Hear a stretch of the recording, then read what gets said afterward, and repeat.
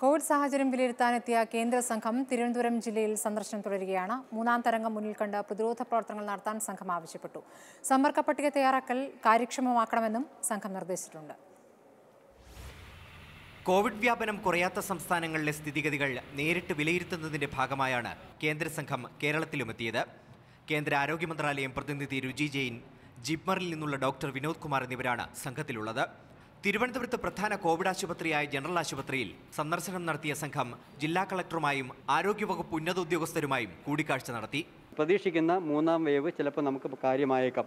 അപ്പോൾ പൂർണമായിട്ട് ജനങ്ങളെ സഹകരിക്കേണ്ടതുണ്ട്. നല്ല കോർഡിനേറ്റഡ് രീതിയിൽ പോകണമെന്നാണ് അവർ പറഞ്ഞത്. നമ്മുടെ കോൺടാക്ട് ട്രേസിംഗിന്റെ കാര്യത്തിൽ കുറച്ചുകൂടി മെച്ചപ്പെടുത്തണമെന്ന് പറഞ്ഞിട്ടുണ്ട്. മാധ്യമങ്ങളോട് പ്രതികരിക്കാൻ സംഘം തയ്യാറായില്ല. കണ്ടെയ്ൻമെന്റ് സോണായ മലയിൻ കീഴും തിരുവനന്തപുരം മെഡിക്കൽ കോളേജ് ആശുപത്രിയും സംഘം സന്ദർശിക്കുന്നുണ്ട്.